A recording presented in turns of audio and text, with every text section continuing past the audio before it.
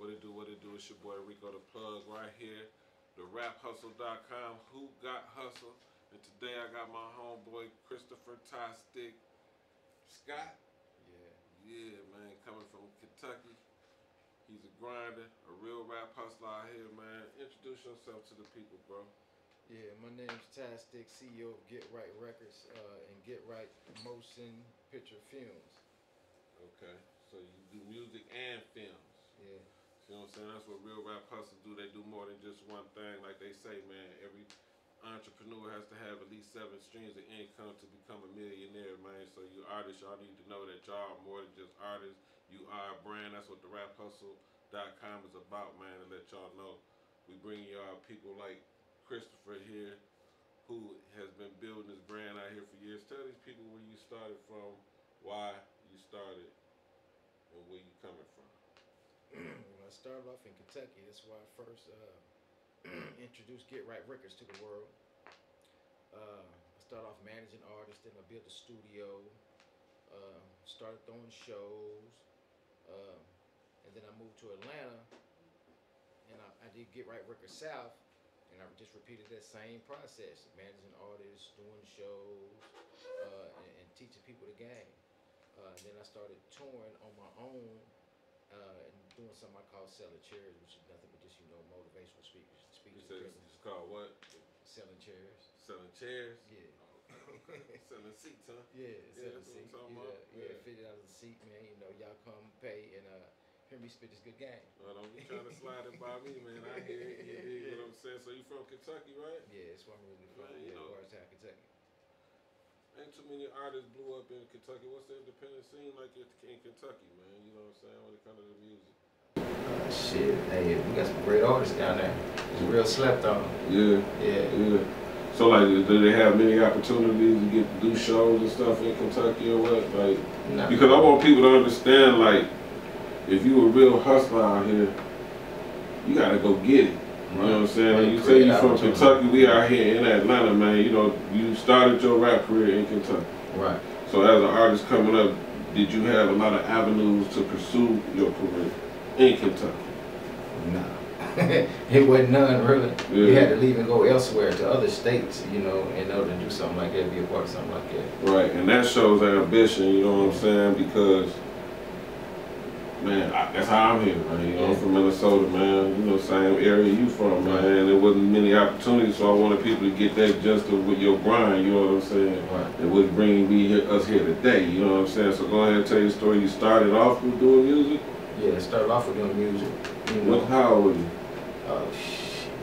I think I was like four when I got my first drum set. Oh, before we, when when you got into the gang, like when you started creating your own product, Uh, you know what I'm saying? I was How probably? I was probably around 13, yeah. 13? Yeah. Okay, man. So you started early. Yeah. So, okay. You was soldier boy when soldier, you know what I'm saying? You're at 13. Right. You had your first product out, what's the name of that? You remember? Shit, nah, all I remember is uh, Snoop Dogg, uh, I think like 93, 94, Snoop Dogg, um, Doggy Style was out around the Oh, yeah? Yeah, and I remember, uh, I ain't gonna say what I did, but uh, I just remember, you know, getting my sales up. All right, man. You know what I'm saying? Selling them seats. Yeah, yeah, nah, nah, nah, that wasn't selling CDs, that was actually selling CDs. I'm just fucking with you. Yeah. Hey, but look, uh, so you started at 13, you put your first product out at 13. How did that go? As a young, you know what I'm It went good, man. You know, it was tapes then, you know, selling tapes. No, damn, it wasn't even CDs, it was tapes. How long this man been out here hustling, man? We telling ages around this Yeah. thing, right? You know what I'm saying? But when you said you, you was 13 listening to Snoop, I think I was probably about a little older than that. Yeah. So go ahead, man. right. Continue. So, um, you know, so like I said, I went from Kentucky and then I went to uh, South Carolina where I hooked up with, um, what was it, uh, Joe Rugby, uh, Tape Hustlers, um, what, what was the guest name? Um, Some local cats from around your neighborhood. well, no, they actually did the, uh, the, the rap symposium.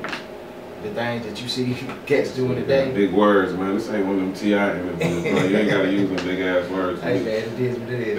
It is a Name they put on symposium. I ain't heard that in years. Yeah. How you So, spell it? Spell it though first. That's why I podium. You know. Okay, okay, okay. At least you, Hey. at least you knew something. Yeah, yeah, right.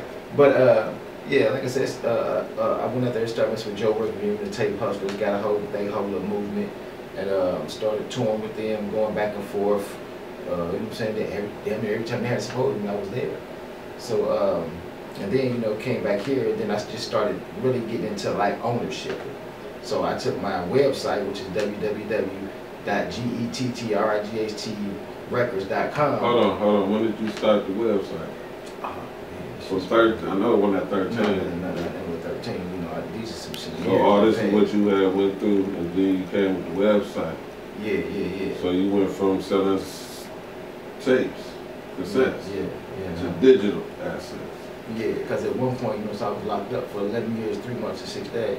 Oh, okay, Yeah, okay, so, that you know, it. That, yeah. that bridges it. Yeah. You know, I was thirteen out here selling tapes, then I had a website, nigga. Nigga. You had cassettes, you had a website. like, Right. no, go ahead, go ahead. Yeah, so, you know what I'm saying? Like, but when, when, when I, let me back up. So when I was in prison, I wrote a couple of books, and one of them was uh, Master the Game. Uh, the Let's, let's speak on that. Let's speak on that. We ain't gonna put because this is we got, we got these folks to understand, man. Master the game. Right.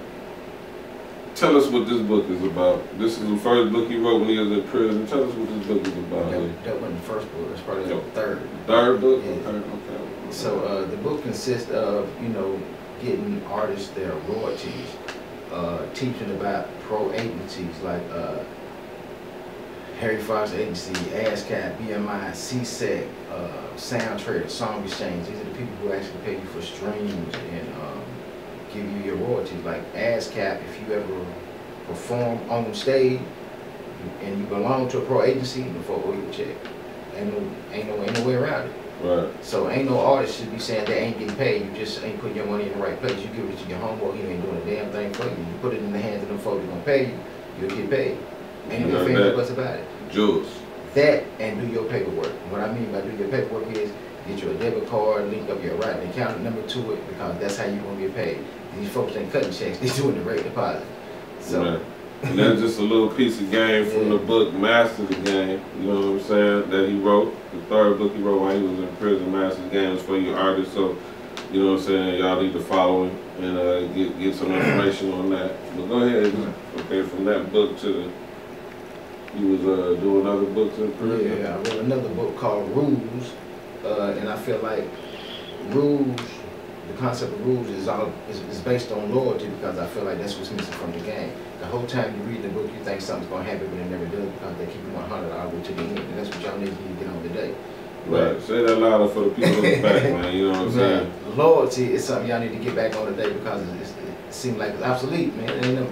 It ain't no last of that sitting right here in front of you. Man, you feel me? That's what I'm talking about. See, man, you know the name of your book that was called Rules, right? Rules, And you, right. al- you also coming out with a movie on that one, right? Yeah, the trailer and everything. It's funny why you say that because you know I just started back into music. You know what I'm saying? And I got a little thing called Old School New Rules, which basically is the rules that we grew up to are old, Mhm. but it's new to the, the people, these youngsters that's coming up now that don't know about loyalty. Like you say, like we gonna teach y'all the new rules since y'all never had these rules. These rules are new to you. Right. So I just want to you know elaborate on that. You know what I'm saying? So y'all youngsters stay plugged in for that. we out here teaching, not just preaching, teaching and walking in these steps, man. So the books. So that was in prison. You started writing the books. How many books you wrote? Seven. Seven books. I got two more on the way, so it'll be nine. So you went from selling cassettes, going to prison. We don't even need to talk about what you went to prison for because that ain't the important part. You know what I'm saying? Writing books in prison, becoming an author. So now you went from an artist at 13 to an author at how, what, what age was that? Shit. Yeah, I was probably like, I went to jail when I was 17. 17. No, 16 when I was 16. Yeah, I was in county jail, when they county jail when I was 16.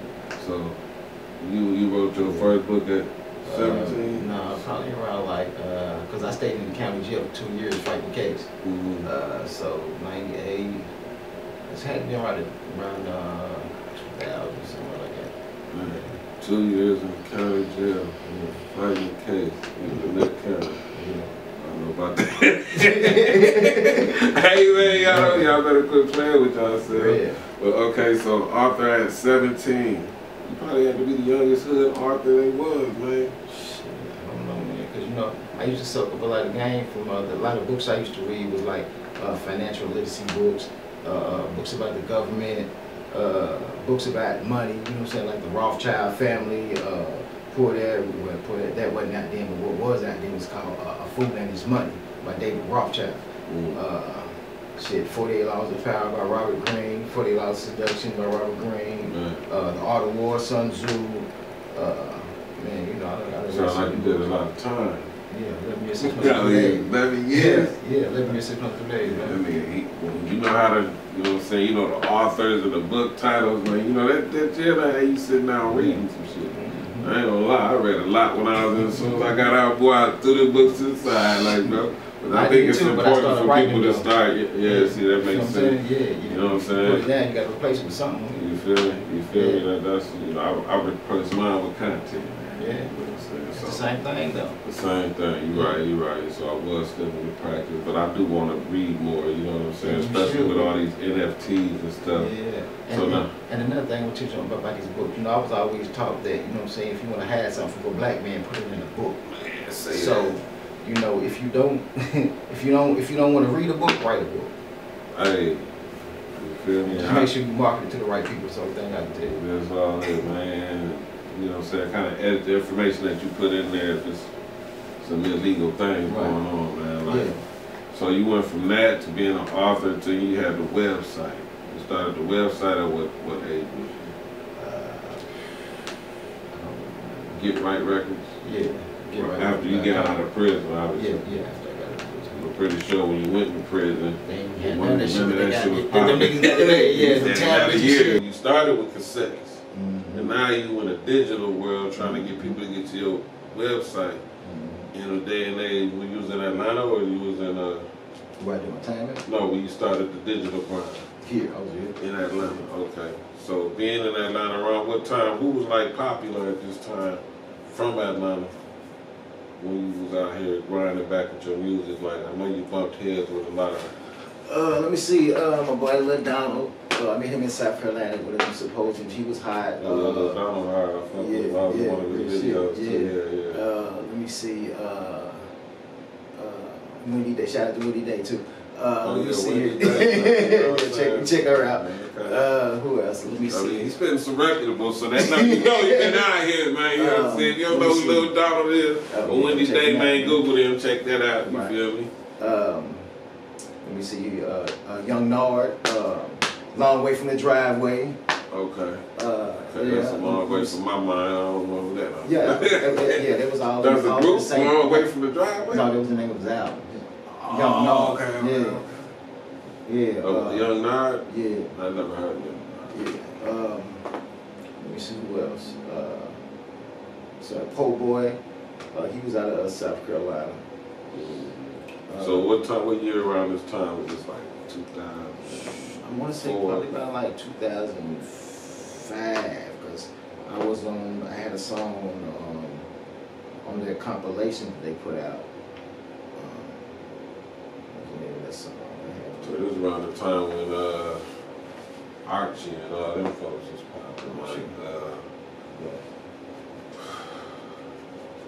I ain't never scared. Who that was old boy name? Total, total, total.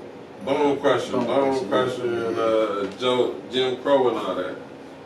Mm, You was. Midwest, but you was probably rocking with a whole lot of Midwest shit back Right. To be honest with you, like I never really listened to a bunch of different artists when I was coming up because being in music, I never wanted to sound like anybody. Say that shit again. You feel me? And I feel like you got a lot of that shit going on right now today. I mean, don't get me wrong. I listen to music. I listen to old school music. I don't listen to a lot of this new school shit. You know what I'm saying? Right. Some of this shit I do listen to. You feel me? Don't get me wrong. You feel me? But it's just, you know, it's like we had more to say back then. Right, right. more lyrical content was coming across with a message, a moral, uh, uh, uh, some deliverance or something Right, like that. right, right. Now, motherfuckers just punching in shit and pushing that shit out Right. because they got a fan base. They going for that shit. I mean, shit. You know, I was like, talking. You ain't got something nice to say, something, some, something, some Man, value. You know what I'm saying? don't say nothing at all, bro, man. Like, see, these is old school new rules for them young cunts. We gonna say that one more time, man. If you ain't got nothing good to say, then don't say nothing at all. one of the rules that we was taught when we was coming up, man. You know what I'm saying? Matter of fact, look, I got a song called 13 Laws. hmm After we get on here, y'all go check it out. It's, it's on my YouTube page. Definitely going to check that out. Man, we gonna have to put that up on. You know what I'm saying? A link Uh, or something. look, Billy want me to do that again. Oh, He yeah? Billy want me to put that back out. Hey You man, know don't let get overclosed. Yeah, you know it. When they come back in style. Speaking of clothes, man, it's your boy Rico the Plug, the Fly Guy in Jakai. If you want to get some of this Jakai, man, hit my DM, man. You know, another unshameless plug. You did? right on, Jack. Yeah, go ahead. Yeah. yeah, man, that's dope. man. You're out here doing your music on the digital grind. Um, pretty much signed up with the pro sources. They get you the money and all that. You know what I'm saying? Doing shows, getting your royalties. Mhm. See, this is some things that these artists need to be taught, man. So. See, I, I, I teach classes too. Well, I'm about to start doing these live streams too, as soon as I can get this uh, situation together.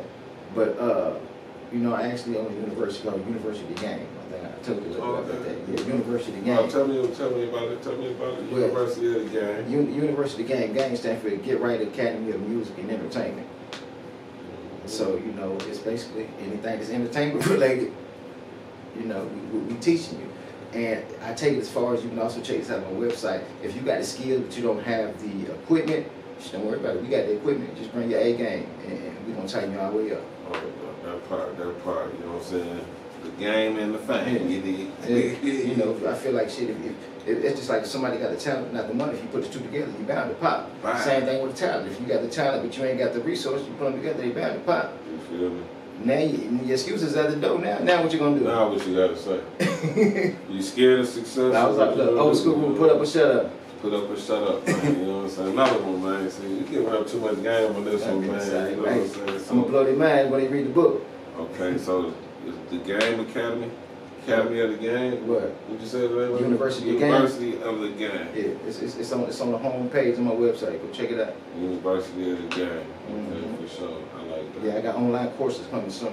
Online courses coming Hey, soon. shout out to Renetta Holyfield too, man. Check her out at the TMPA. That's the Music Publishing Academy. Renetta, Renetta Holyfield. Yeah, she's a music publisher. yeah, Okay, she's related to Holyfield. yeah. Okay. She ain't biting ears and shit.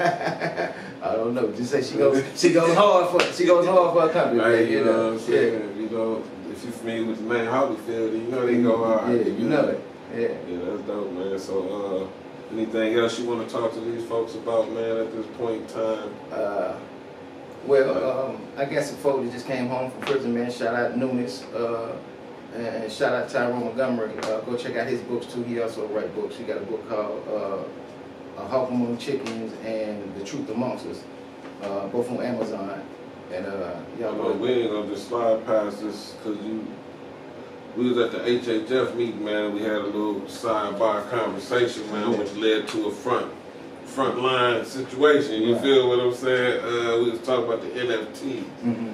And I know you got a clothing line also, right? Right, yeah. Right. And you was Mhm. telling me how you were gonna create NFTs with your clothing line. Mhm. Can you kind of like elaborate to these folks what NFTs is and how do you do that with a clothing line? I'm interested. Okay. Well, I ain't finna give y'all the game on that one, but I give a sprinkle here. Give me a little sprinkle, man. I get the rest Yeah, behind the I'm scenes. saying that's it. Yeah, you know what I'm saying? Yeah. So uh, NFT stands for non-fungible tokens, which is basically like um, a piece of artwork that you create, and the way you make it original is you have to register it. Uh, it can be like a JPEG file, but when you do that and you make it a, digital uh, file and you own it, um, you can therefore sell it. And every time you sell it, you get something kind of like royalties from it because you, every time it sells, you get paid. And then they got this thing called metaverse, which is like a digital land, Mm. to where you can actually take that, put it in a picture frame. Well, actually, they got frames now. I don't know if y'all know. They Oh, actually yeah, got, they got the little NFT frames now. NFT. that you can put in your physical house now. Oh, Yeah, that's dope. So, but uh, you can take your digital artwork and put it on digital land inside of a digital house and make money just like that. That's just kind of like selling a Picasso over and over and over again, except for you created the Picasso. man, that metaverse thing.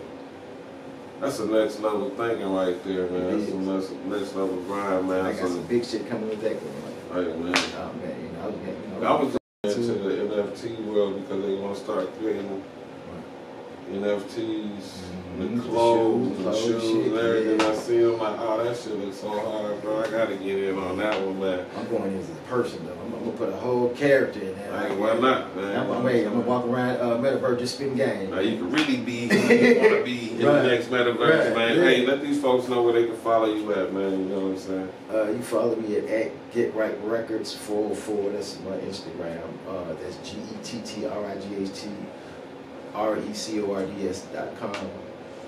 Uh, and is the website the same thing? Website is the same thing. You can, hey, look, you can find me at Rico underscore the plug on IG. Also follow the Rap Hustle underscore C O M. Most importantly, sign up for the website, theraphustle.com. Create your membership page, man. You know what I'm saying? Where you get 50% off these interviews and a lot of other things that we got going on to make sure that you stay plugged in right here. Man, give a shout out to the Rap Hustle ATM. Oh yeah, man. You make sure you check out, man. Rap Hustle ATL, man. Your boy Rico the plug, man, doing his thing. We done hooked up and we bring y'all this good game. So make sure, make sure y'all tune and check me and him out every chance you get, man. If you snooze, you lose, man. Hey, man. It's whatever you choose, man. You feel me? You? We're gonna end it like that, boy. It's your boy Rico the Plug. Come on, bitch. Yeah.